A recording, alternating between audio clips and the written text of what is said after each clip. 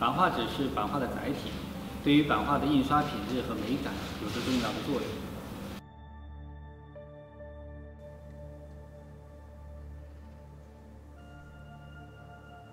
我认为判断版画纸品质的标准主要有两个方面，一是吸墨性，二是耐久度。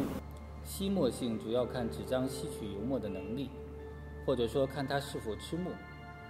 还有就是看纸张对油墨的色彩还原度。在固定油墨和机器压力的这种前提下呢，来比较它的印制效果。呃，首先对于吸墨性。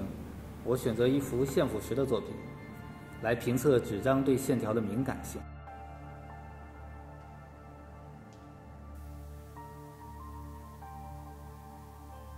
经过我们对于这个线条的测试呢，证明哈内姆勒呢对于最深线条和中间线条的吸墨能力呢是更好一些。呃，所以呢，我们可以根据自己的创作需要啊。如果说我需要对于最深的线条、中间层次强更强调一些的话，可以选择哈内姆勒版画纸。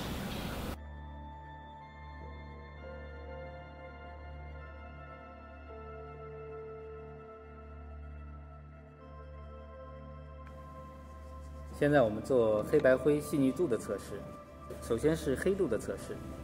如果我们用肉眼看的话，呃，看不出这个黑度的变化。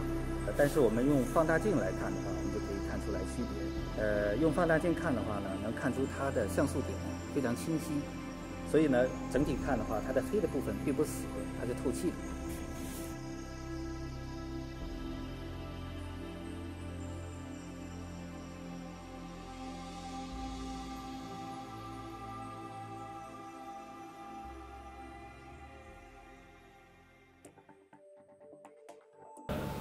现在呢，我们用飞尘试条来测试油墨的色彩还原度。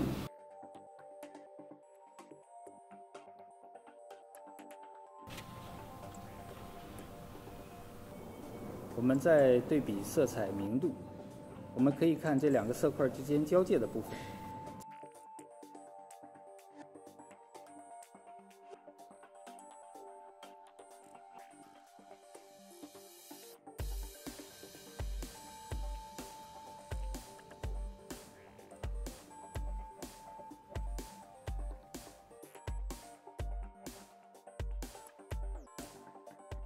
接下来我们测试一下纸张的柔韧性。我有一个简单的方法，就是把这个纸啊对折，对折以后，我们可以清晰的看到棉纤维的一个状态，由此来断定呃它的柔韧性。